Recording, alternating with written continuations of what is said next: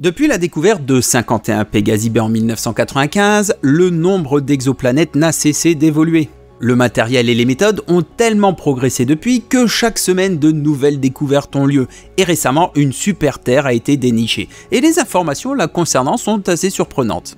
Première chose, elle gravite autour d'une étoile de type M, une naine rouge ayant une température assez basse, en moyenne 3700 degrés Celsius.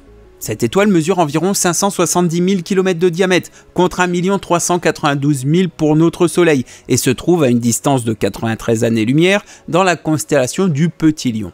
Ok, jusque-là, rien de bien neuf sous le Soleil, comme on peut dire. Mais autour de cette étoile, une exoplanète très particulière gravite. Voici Wolf 327b.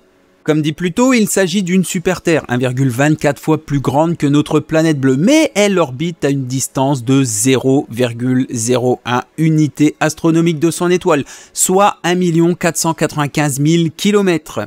Imaginez Mercure, elle se trouve à une distance de 46 millions de kilomètres du Soleil à son périhélie, au plus proche, donc soit 30 fois plus loin. Mais le plus fou dans cette découverte, c'est sa période de rotation, et à l'heure actuelle, c'est la plus rapide jamais observée. Une année là-bas dure un peu plus de 14 heures. La Terre tourne autour du Soleil à une vitesse de 29,79 km par seconde. Cette exoplanète, elle, se déplace à 211 km par seconde autour de son étoile, soit 760 000 km heure. C'est la vitesse à laquelle se déplace notre système solaire complet dans la Voie lactée. Forcément, celle-ci n'est clairement pas habitable et les températures sur sa surface doivent être infernales et avoisineraient les 700 voire 800 degrés Celsius. Il se pourrait donc que ce soit plutôt une super Mercure avec une composition assez similaire en son noyau. Mais ne spéculons pas parce que cette exoplanète a été confirmée qu'au mois de février. Il faudra attendre les futures études à son sujet pour approfondir nos connaissances sur elle grâce par exemple au télescope spatial James Webb.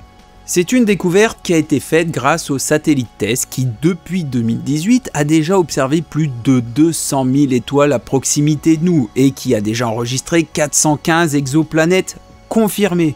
À ce jour, il y a 5587 exoplanètes qui l'ont été, plus de 10 000 candidates et 4155 systèmes planétaires découverts. Mais les connaissances à ce sujet vont forcément s'approfondir dans les prochaines décennies et qui sait, un jour peut-être, nous découvrirons une exoplanète où la vie a pu s'y développer comme sur Terre. Mais ça, c'est une autre histoire. N'oubliez pas de vous abonner et de liker. Allez, hop là les gens, et à la prochaine